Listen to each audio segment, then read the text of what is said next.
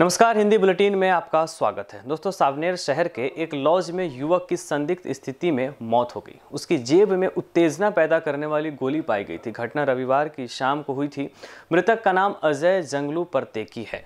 वह धापेवाड़ा तहसील कलमेश्वर का रहने वाला है। बताया जा रहा है कि घटना के वक्त लॉज में अजय के साथ एक युवती भी थी। अजय के अचानक बेहोश हो जाने पर उसने धापेवाड़ा में अजय के मित्र को जानकारी दी थी। अजय के मित्र ने उसे अस्पताल में दाखिल कराया, वहाँ डॉक्टर ने उसे मृत घोषित कर दिया। घटना की जानकारी सावनेर पुलिस को दी गई। पुलिस ने पंचनामा कर बॉडी पोस्टमार्टम के लिए भेज दिया। सरकारी अस्पताल में अधिकारी ने बताया कि अजय की तबीयत पहले से ही खराब थी, साथ ही उसने उत्तेजक गोलियाँ खाई थी, जिससे उसे दिल का दौरा पड़ा।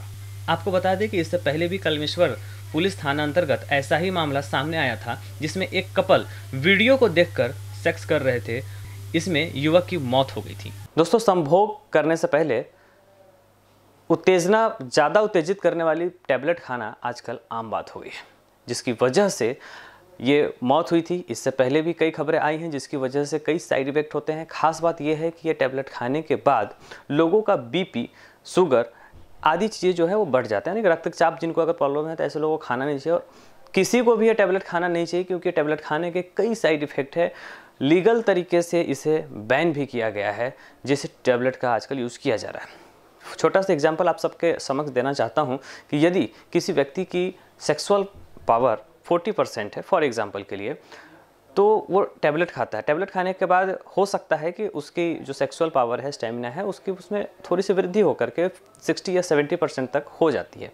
लेकिन जैसे इस टैबलेट की जो असर है वो ख़त्म होती है वो ख़त्म होने के बाद में जो उसका आ, किसी इंसान का जो नॉर्मल जो पहले 40 परसेंट उसका स्टेमिना पावर था वो 40 परसेंट से भी कम होने लगती है। यानी कि जैसे जैसे आप टैबलेट खाते हैं वैसे वैसे आपका जो रियल स्टेमिना है वो कम होने लगता है। ऐसा डॉक्टर से जब हमने बातचीत की तो डॉक्टर ने हमें इस चीज़ की जानकारी दी थी। तो इसीलिए इस तरीके का जो टैबलेट आजकल जो नौजवान यूज़ कर रहे हैं उससे कहीं ना कहीं उनका जीवन में काफ़ी तकलीफ़ भी हो सकती है और यहाँ तक कि अब मौत भी होने लगी है। तो ऐसी चीज़ों से दूर रहें।